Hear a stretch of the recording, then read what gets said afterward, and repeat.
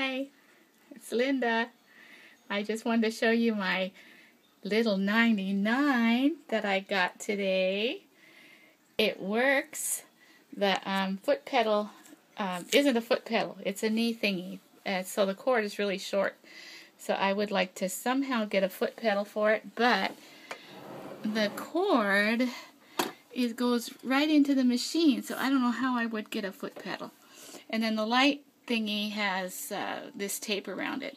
But I tried it and it runs really good. And it has this little magnet thingy that I think is a seam guide. I thought that was an interesting little thing. And this is a cabinet with the little hole for the machine right here. And it closes up like that. It's not real pretty, but it's just very clean. And then this is the 301 over here you can see it, it and it runs beautiful. Um, and it came with all of these accessories that I haven't a clue what they do. so if anybody knows, that would be great if I could find out. And it came with this ugly plastic case, which I might decoupage.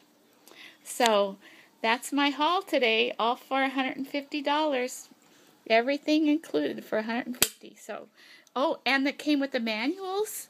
He printed out. He went online and he printed out the manuals for me for both machines, which was cool.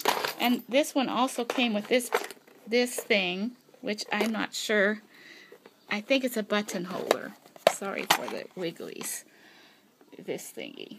It looks like a button holder, and it has some some extra bobbins in there. And so that's it. Thank you guys for all your help. I'm so excited. This is so cute, but very heavy. Okay, I'll see you in the group. Bye.